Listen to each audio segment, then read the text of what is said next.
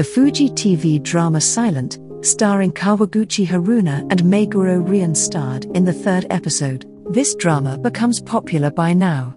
It breaks Fuji TV record. Let's check it out.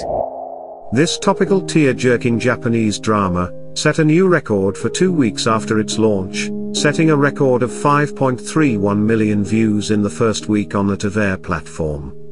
Right now, over 10 million views on the TVer platform. About the story, Haruna Kawaguchi fell in love with Ren Meguro, who attended the same high school. They both shared an interest in music. Their relationship got deeper and deeper, but, suddenly, Meguro said goodbye to her without giving a reason. Eight years later, she is now in Tokyo and works part time at a large CD music store. She is surrounded by music she likes. One day, she happens to see him. She wants to talk to him, but she realizes that he has almost lost his hearing. This drama is so touching. Don't forget to watch it during your free time. Silent broadcasts on Fuji TV at 10 pm on every Thursday.